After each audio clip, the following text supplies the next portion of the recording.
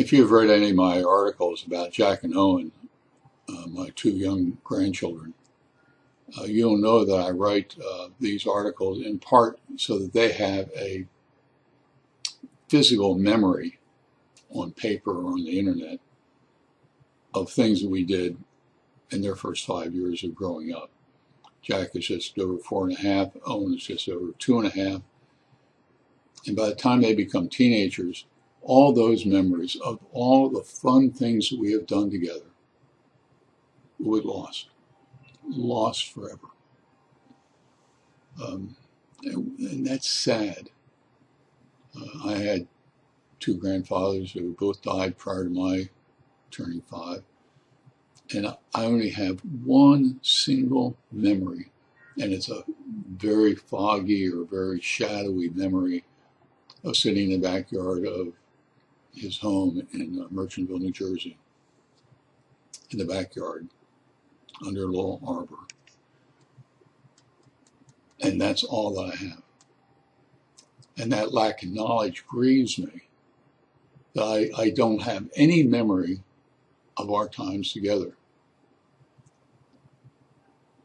And if that grieves me, you can imagine what Jack and Owen's memory of me will be when they become teenagers, prior to five. Um, there is a. Uh, I was reading an article in National Geographic that talked about uh, scientists taking newborn infants a couple hours after they were been born and putting a little kind of skull cap on them that has little neuron or little electrodes on it and they can read what is going on in the child's brain. Um, and these scientists claim that the, um, the newborn's brain has about a hundred billion neurons. And by the time that they become three, if they have parents and grandparents and family members that talk with the child and have fun and experience with them, that the child will connect those neurons to each other, creating a hundred trillion connections. And that begins the process of their ability to learn language, to remember things, to make connections. It's kind of like what Steve Jobs talked about, connecting the dots. It's connecting the neurons um,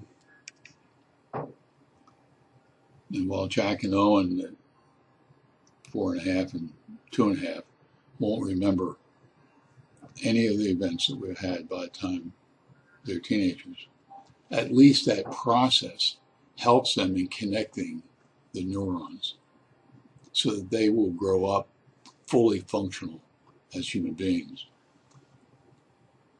And while this is a story about Jack and Owen, it ought to be a story also about what you do with especially young children, helping making them and helping them connect the dots, connecting the neurons by talking to them, sharing with them, doing things together. That will all be lost,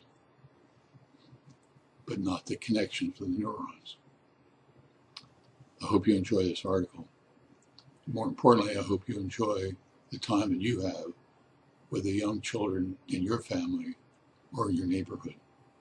In the meantime, you take care. Thank you.